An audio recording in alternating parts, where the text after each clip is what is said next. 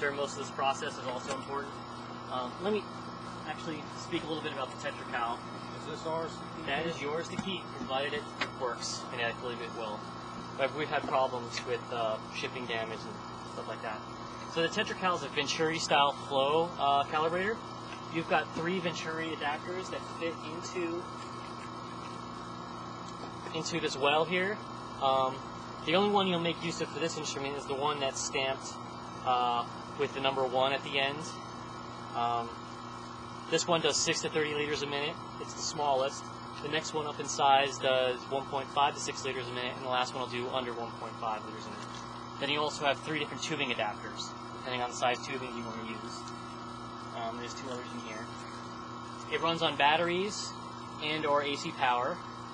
Um, it is a barometric pressure reference. As I mentioned before, temperatures in here. Um, this can be upgraded to have an external temperature probe, which would come out of this port right here. Um, also, for those uh, really interested, there's software on here where you can actually hook this up to a, a laptop or a computer, and you can monitor, say, set this up and monitor flows over long periods of time on a particular piece of instrument, and it would log it into the laptop. So I've never made use of that feature, but I hear it's pretty cool. Um, this gives you barometric pressure in millimeters of mercury and millibar, gives you temperature in degrees Celsius, and it gives you both volumetric and standard flow. Volumetric is listed as QA, and standard is listed as QS.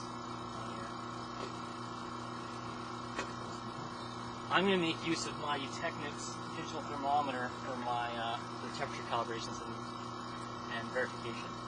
So I need to backspace up one to get to my calibration menu, and that's F1, and then temperature calibration is F1.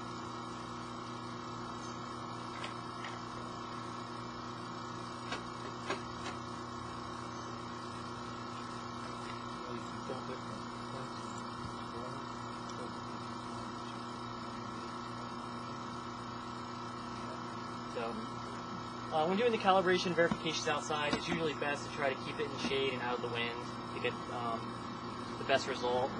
Overcast days are ideal. Yeah. Um, one thing that's uh, the wind can make it particularly difficult because, for example, my uh, Technics I think has a much faster response time than the instruments temperature sensor. So changing conditions, my reference keeps up faster, so it's kind of hard to get them to be in sync. So, so sometimes I end up doing the calibration twice uh, to get it right. So I need to hit space to calibrate, and I'm going to punch in my reference value of 32.4.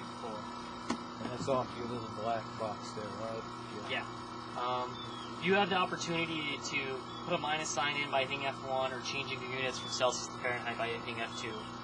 Wow, it's 100 degrees out. Well, this that's that's the uncalibrated uh, sample temperature, so that's probably a little off. The 32.4, hit enter. I get a new raw and offset. Actually, would you mind writing this down for me? Uh, yeah. I think it's kind of hard to juggle. Anywhere on there? Well, there's a temperature cal, there's raw and offset. The raw is 1579. The raw numbers that you see is a voltage in millivolts. Um, just so you know, and offset's 54. And then I'm going to do a verification and we're going to write it in along here in a second. So yes to save. I'm going to backspace out of the calibration menu and go into the audit menu where all the verification items are. F3 and temperature's F3 as well. So I've got 32.5. I'm going to punch that in. And enter. Alright, so I got a sampler of 32.7, sampler value. My reference is 32.5, the difference of 0.2. For all the verifications, the software actually gives you the absolute difference. Um, that, yep, that's well within our plus or minus 2 degrees. So hit enter for next, and yes, I'm going to save, and enter to go back to the menus. Next, we're going to do the barometric pressure. So I need to exit out of the audit menu, go back into the calibration menu. Barometric pressure calibration at 2, and we're going to use the TetraCal. So space to calibrate. I've got 741. Now the sampler is going to require a decimal place, but you don't get a decimal place for the TetraCal, so you just got to put a point zero in. So 741.0. Now if you didn't put the point zero in, three seven four. And you would know what, what it'll say is invalid. So point zero, enter, and then uh, actually I can write this. It's just at the temperature, trying to keep everything. So now I'm going to back out of this and go back to the audit menu. And bearish pressure is at 4, uh, 741.0. Enter.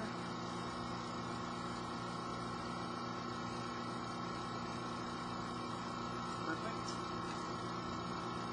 Save. So now we're ready for our leak check. So our leak check is the only place the leak check is is in the audit menu. So hit F1.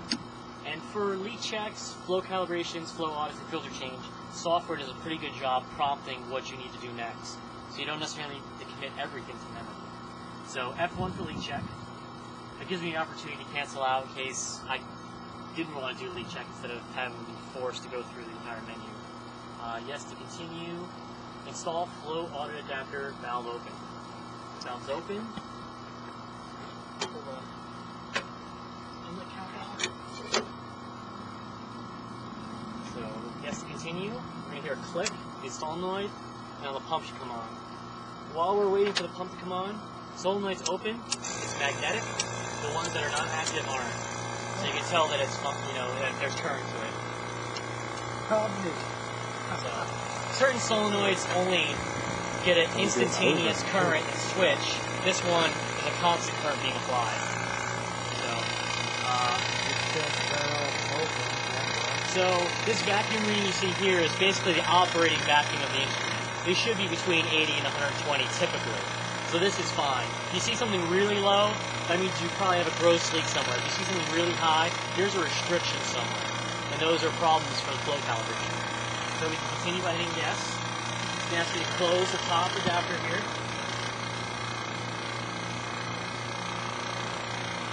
Hit yes again. Now it's going to pump down. I typically like to see it pump down to about, at this elevation, to pump down to about 700. That's not necessary because that's well, you know, that's a much higher vacuum than the instrument's ever going to operate at. But it'll, well, it automatically prompts you for the next level. But, okay, so now it's going to tell me to close the pump shut off valve. Then I'll hit yes again. Turns off the pump, and now we're going to monitor the vacuum level. Um, so the leak check is it's going to over a 35 second period monitor the vacuum level, and the vacuum loss can cannot be any greater than 230 millimeters of mercury. Now, it won't start that check to uh, one of two things. The vacuum level actually reaches a certain point, or after waiting for a certain period of time, it'll time out and then start counting at 35. So we'll see a timer start when it's ready to actually start the test, Oh, which should be uh, pretty soon. So there we go. Well, that is excellent. We have a difference of 12, and we're allowed 230. sure you get that. We'll be doing this again after we remove the cyclone to check it out. When we put it back together, we should do a leak check again to Just make to sure. make sure the system That's is, right. is, is intact. Yeah. Just reseating the cassette can make a, a small difference in your leak check. This could easily be 30. You're just reseating this cartridge a different way. But that's all within acceptable limits. So now we're done. It says pass, so you don't have to commit that value to memory. It'll let you know if you passed or failed. So you hit enter. Release both vacuums slowly. The critical one is going to be this top one to release it slowly, otherwise you'll blow out that filter. The side one, not so much, because there already is some vacuum between the pump and the shut-off valve.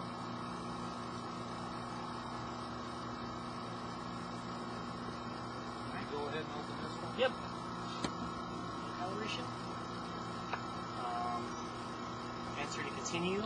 It's gonna give you a warning. Leak check should always precede a calibration. We'll get the same worry, warning when we do the verification. And we just did, so we just yeah. do you have to enter to acknowledge it or anything? No, we usually have to wait for it to disappear on its own. So yes, continue with calibration. Our first set point is 10% below target. Our target's 22, so we're at 19.8. Uh, next. Next reference flow meter now. I'm assuming is this